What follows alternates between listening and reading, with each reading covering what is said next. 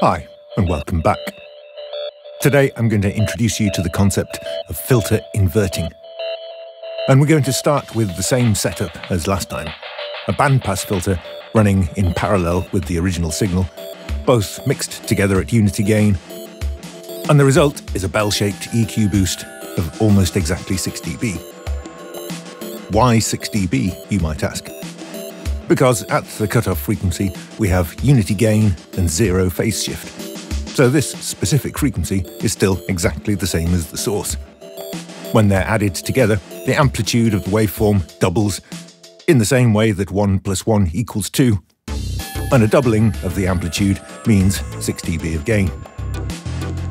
Okay, so what do you think will happen if I pop open the output section for ProQ3 and flip the polarity for just the filtered signal? I'll give you a moment to think about it. Okay? If you said it will turn into a 6 dB cut instead of a 6 dB boost, then you're clever, but you're still wrong. In fact, we get a hard notch with infinite attenuation at the cutoff. Infinite attenuation? Really? Well, again, the filter doesn't change anything at that one specific frequency it's tuned to, but we're now subtracting it instead. And of course, 1 minus 1 always equals 0. Now, while we've got the output section open, notice what happens if I reduce the gain of the filtered signal. That hard, infinite notch smoothly morphs into a gentle EQ cut. Of course, we can also turn the gain the other way and boost the filtered signal above unity. Perhaps unexpectedly, this starts to flatten out the frequency response again. At plus 6 dB, we're more or less back to flat again. Be aware, however, that the frequency we're filtering is now flipped in polarity. If I switch to show the phase response, we see a 180 degree phase shift at the target frequency. So we've created an all-pass filter. This is likely to be harmless, but also probably pointless. I can't think of any reason you'd want to do this, so I'm going to suggest you do as I do and keep the filtered signal at or below unity gain when inverting it like this. So before we move on, let's have a practical example of this in action. Here's some classic DMX drum samples running from NI battery. These samples could definitely use a cut in the mid-range, around the 5 or 600 Hz mark. But instead of EQing the drum bus, as I might normally, I'm going to send all my drum channels to a parallel bandpass filter with the polarity flipped. And the result is a hard notch, as predicted by Plugin Doctor. It's a bit too extreme, to be honest, but that's not a problem. I can just turn it down a bit, and it becomes a gentle cut instead.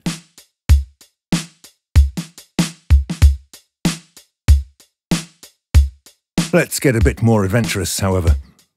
I'll put the fader back to Unity to restore the hard notch. But then add a compressor instead. I'm a bit fussy about the type of compressor I add, however, not so much regarding the flavour of compression, but more to do with the control scheme. I'll avoid the T-RackS compressor, for example, not because it's not a great compressor, in fact I've got one on my mix bus, but because it has a fixed threshold topology with input and output gain controls this makes it really awkward to figure out where unity gain is, and I really want to get back to exactly unity gain when the compressor fully releases. I'll avoid all my 1176 emulations for the same reason. The Waves H comp is also ruled out because you can't turn off the automatic gain compensation. Although that's not going to stop me putting an affiliate link down below. But any compressor with a threshold control and the option to manually control the makeup gain will work fine. I'm going with something that can eat the transients effortlessly, because we're not just inverting the filter now, we're also inverting the dynamics processing. Whenever the compressor turns the gain down, that hard notch will turn into a gentle cut. So the dynamics of this 500 Hz region are moving in the opposite direction, and we've created a downward expander. Or more than an expander, really. With the makeup gain at Unity, we return to a hard notch whenever the compressor releases. So this is more like a hard gate for that frequency. This is a great way to retain some of the vintage mid-range thump in drum sounds like these, while still tightening up and decluttering that boxy region and creating more space for other parts. Of course, we can create a subtler version of this by simply turning down the filtered signal again.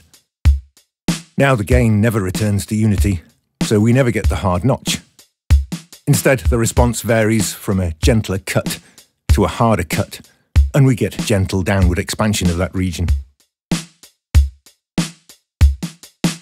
This technique isn't only useful on drums, it can work very well on stuff like acoustic guitar, which can sound thin without some lower mid-range, but can quickly clutter up that region if you're not careful.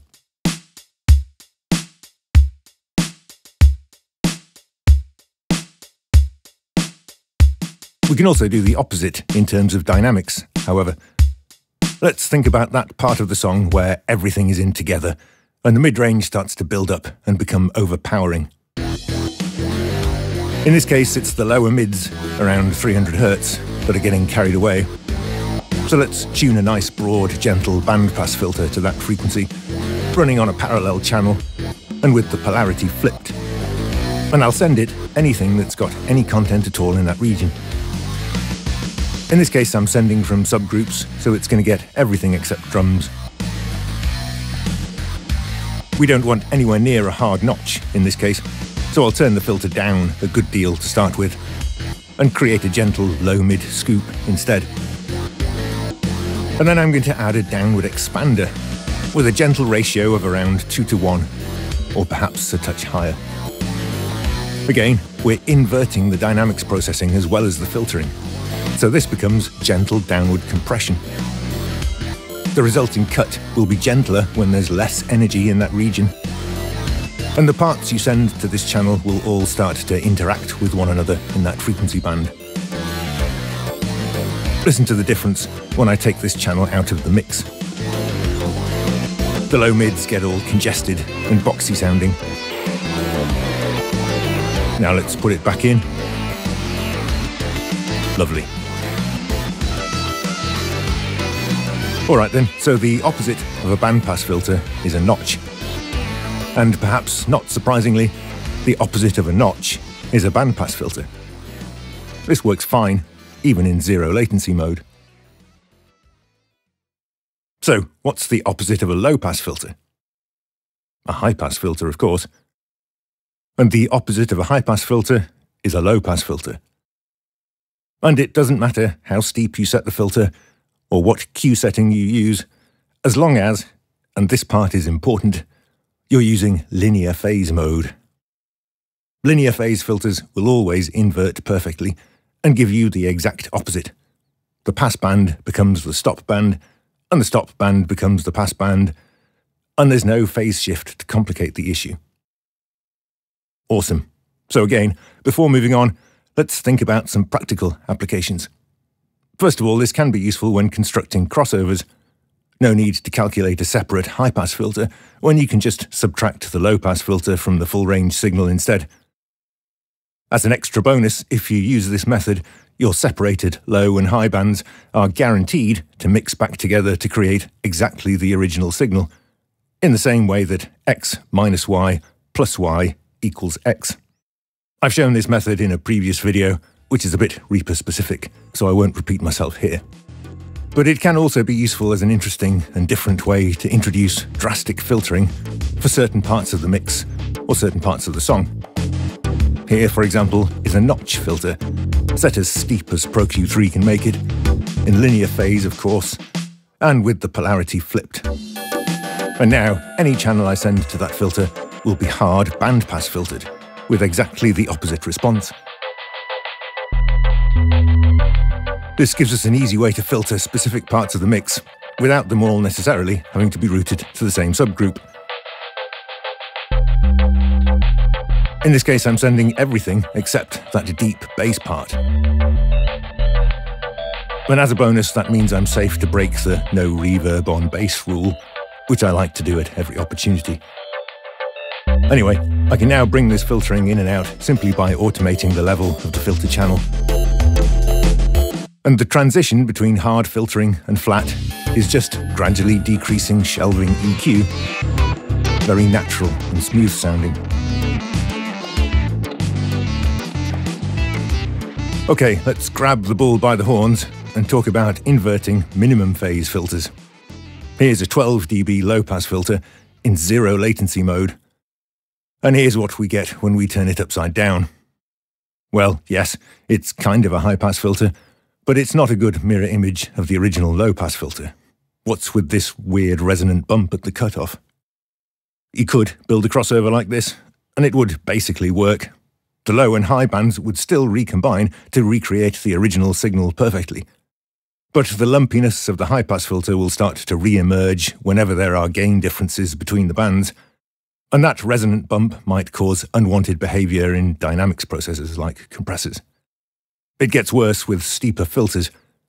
24 dB filters, which are pretty standard for crossover duties, produce a vicious 6 dB spike in the inverted response. And if you go any higher, you can expect weird notches to appear as well. There are ways to design minimum phase crossovers that avoid all these issues, so filter inverting tricks like this are rarely used. With one important exception. If I go the other way and set the filter to a 6 dB slope, now we get a perfect ideal inversion. A one-pole low-pass filter will invert to create a perfect one-pole high-pass filter. And if I reduce the gain of the filtered signal, it turns into a low-shelf cut. Don't underestimate how useful this can be. Okay, final example. Here's a big, deep bass part. And notice how it's competing with the kick drum. Every time the kick drum hits, the low end of the mix gets muddy and confused. Plus, we're kind of losing the low end of the kick, which sounds a bit flappy and weak. Okay then, parallel channel with a one-pole 6 dB low-pass filter, and the polarity flipped. And note, zero latency mode, no linear phase required. And I'll send that bass part to this filter. And now the bass part is high-pass filtered. We've achieved a couple of important things. We can hear the low end of the kick clearly, and that part is thumping again. We've tightened up the whole mix by avoiding that excessive boom on every kick drum. And the gentle one-pole high-pass filter that we've created for the bass part is rolling off very smoothly without changing the basic character of the bass part. The big price we paid, however, the bass isn't deep enough anymore I miss that powerful deep fundamental that we had without the filter. No problem, I'll add a gate to the filter channel, which I'll sidechain from the kick drum. Now we're only subtracting that low-pass filtered signal when the kick drum hits. So the bass part ends up filtered briefly for every kick drum, then goes back to flat as soon as the gate closes. Incidentally, this is about the only situation where ReaGate's infinite attenuation is actually optimal. Usually I reach for something else because this one lacks a range control. But actually infinite attenuation means we return to perfectly flat whenever the gate is closed. Of course, the maximum 100 dB range available in Pro G will be plenty, and you'll never hear that difference. But we might as well use the optimal option if it's available. Let's run through that again quickly so you can listen to the difference. Here's the original balance with no filtering. Here's the filtering, but without the gate. And here with the gate in as well. Okay, I think I'll leave it there for now. Will there be another part? Perhaps. I do have more to say, but I fear it will only benefit fellow Reaper users. I'll have to think about it. Thanks for watching.